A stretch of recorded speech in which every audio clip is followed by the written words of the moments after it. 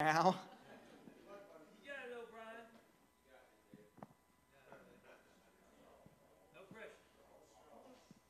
Forgive me if I don't look at any of y'all, but um, my name's David.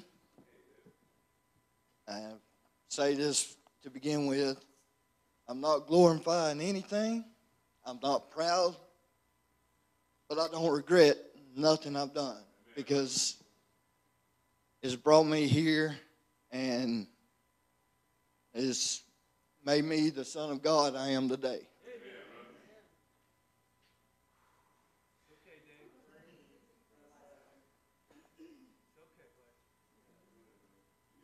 Well, my addictions, they started at the age of nine. Started smoking cigarettes. I know some of y'all in here do that, but that's, and then my parents, they started fussing and fighting, and they got divorced in 93 when I was 11. In 94, um, my grandpa died. And that's when I turned to smoking pot. And I turned away from God.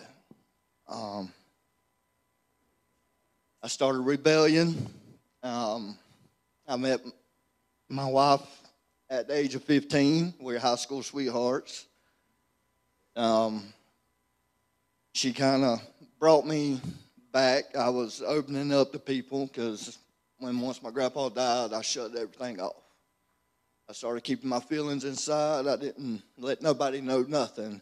But she brought me back for a little bit, and then that was at age of 15 when we met. Um, I started drinking a little bit. I got kicked out of high school, um, and then at the age of 19, I started doing and meth. Um, started making it and selling it. Um, me and her had split up. Uh, she ended up getting pregnant by another guy. But um, that's another story for a different day. But uh, she, me and her, we ended up getting back together after she had my daughter now. Um, she was nine months old when I got come back in the picture. She's 18 now, so um, she's my daughter. I don't care what anybody says. Um, but um, after that, um, we got we ended up getting married in 2006. Um, but I was hiding all my addictions from them the best I could. Uh, it didn't work, but I done what I could. Um, and then the doctors told her that she wouldn't be able to have any more youngins. So we were in 2008 looking into adoption. A couple of months before when we went to get the adoption papers, she found out she was pregnant with my son. Um, doctors told her she didn't know they didn't know if she would be able to carry him full term. But he was born two weeks early at eight pounds twelve ounces. So um,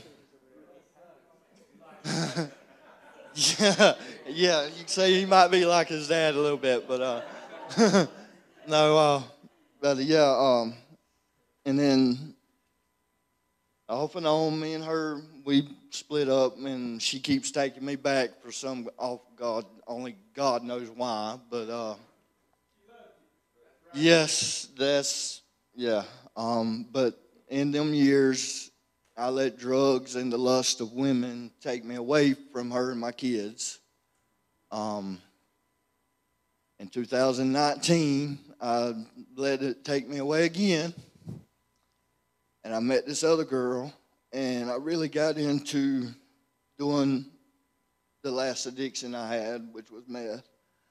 Um, me and her started having problems, and then she divorced me January of last year.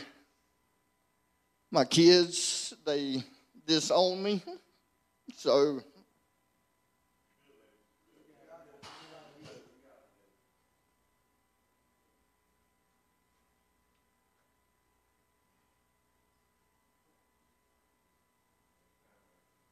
couple of months, well, about a month before I got arrested last year,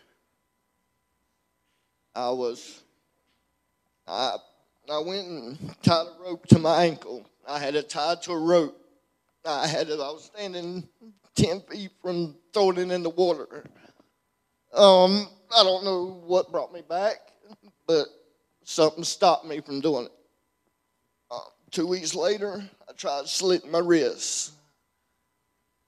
But uh, and then I tried. I went to. I tried to quit smoking the dope. Um, but the girl I was with, she she kept it because of her. And if you're a true addict, you know if it's within ten feet from you, you're gonna do whatever you can to try to get it, especially if you've been without it for a couple of days. And me and her got into a big old fight, and I ended up leaving. I, I walked, I don't know how far, but I ended up going to my brother's house. A couple of days later, drug task force bu- bu- busted in the door, and I got arrested. That was June of last year. Um, and I've thanked God every day since for for that. Um, uh, but when I was in jail, I picked up a new addiction, and that is the addic- uh, addiction of God's Word. Um, I picked up my Bible, and I've been reading it every day since. Um, two weeks after I was arrested, I made a phone call to her, and she, her, and the kids have come back into my life. She's been supporting me ever since. So have my kids and my in-laws, my family.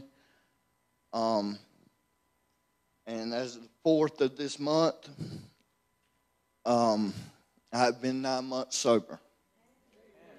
I've only have two addictions right now, and that's cigarettes and the Word of God.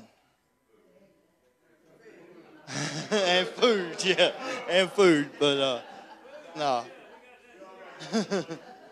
um, I'm, I thank Promised Land. I thank all the leaders, Pastor Glenn, Miss Vera, for giving me the chance to come here and strengthen my relationship with God.